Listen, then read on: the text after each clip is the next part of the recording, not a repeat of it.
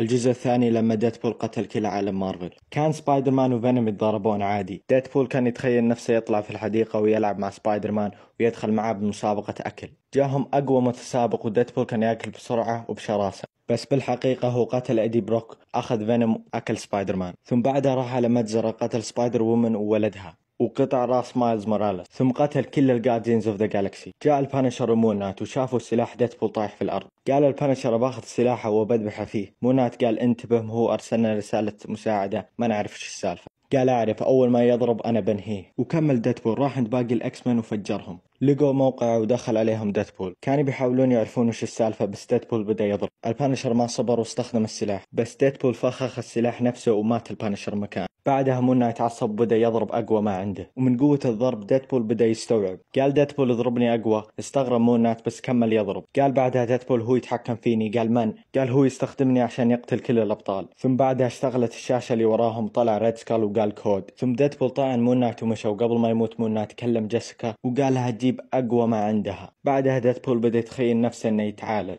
بس ما كان كذا ابدا. ثم جت جونز وجابت اقوى ما عندها. هولك كابتن مارفل سكارلت ويتش دكتور سترينج والبقية كلهم عشان ديدبول. طلع ديدبول وهالمرة كان مندمج مع أولترون.